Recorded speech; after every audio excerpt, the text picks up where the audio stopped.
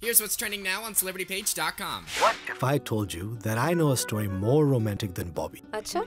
It is an eternal love story. We're seeing streaming trends skyrocket in 2020, but Bengali Beauty breaking a major record on its own. Hi.